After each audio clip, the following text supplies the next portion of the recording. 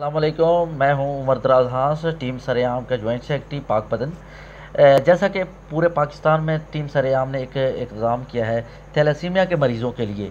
اس کڑی میں پاک پتن میں بھی بائی مئی کو ہم کیمپ لگانے جا رہے ہیں۔ بعض مغرب کے بعد پاک پتن سیرگاہ میں پریس کلب ہے وہاں پر وہاں پر تو تمام پاک پتن کے شہریوں اور ٹیم سریام کے جام بازوں کو اس میں شامل ہونے کی ہم ریکویسٹ اور دعوت دیتے ہیں اور ضرور شامل ہوں۔ تیلیسیمیا کے مریض بچوں کو خون ڈونیٹ کریں۔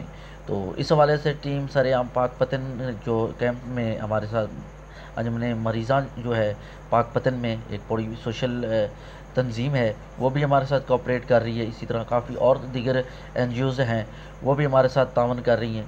تو آپ بھی اس میں شامل ہوں، جتنا اس میں شامل ہوں گے تھیلیسیمیا کے مریضوں کو اس رمضان المبارک کے والے سے جو روز کے بعد ہم کیمپ لگانے ہیں دیکھیں کہ کافی مریض ایسے ہوتے ہیں تھیلیسیمیا کے جو اس وجہ سے موت کا شکار ہوتے ہیں۔ تو کسی کی ایک ہی جان بچانا یہ کار خیر ہے۔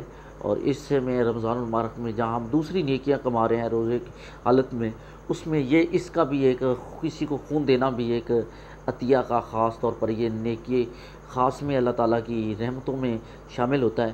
تو ضرور اس میں شامل ہوں، پاک پتن کے تمام شہری بھی، اور وہ وہ بھی دیں خون ڈونیٹ کر سکتے ہیں۔ اور ٹیم سر عام، پاک پتن جو وہ بھی آئیں، اس کے جاں باز ضرور آئیں۔ شکریہ، اللہ حافظ، پاکستان زندہ باد۔